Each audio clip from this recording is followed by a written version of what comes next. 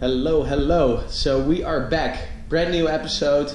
I'm really stoked you guys are back. Thanks for watching. I also want to thank you guys for all the comments you left me on the previous video. Really, really appreciate it.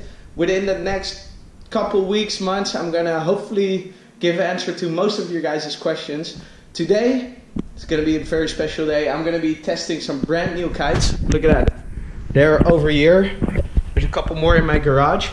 Naish always gives me the opportunity to work really closely with them to develop new kites and to come up with new concepts. And um, it's actually really really cool to do you know because I get the chance to try the kites first and and uh, give my input and they will change it if if changes need to be done. All for you guys out there to be able to jump bigger ride more comfortable and it is a long process, but it's a super fun process, and I want to bring you guys along with the start of building a 2017 kite. Here we go. Actually, I did set something wrong. We're testing 2018 kites already, not 2017. Um, time flies. I think next week it's already 2017.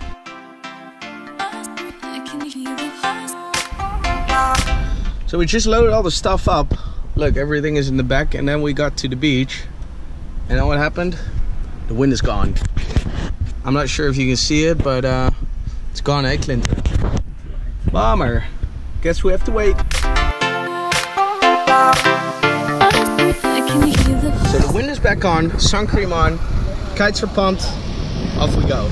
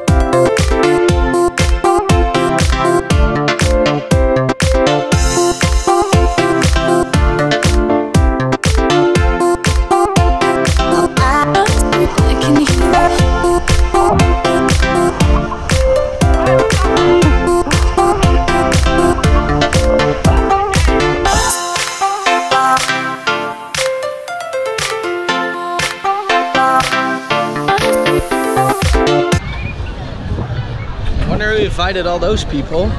Well, we just finished testing some kites. It was good fun, and now we are hungry, eh?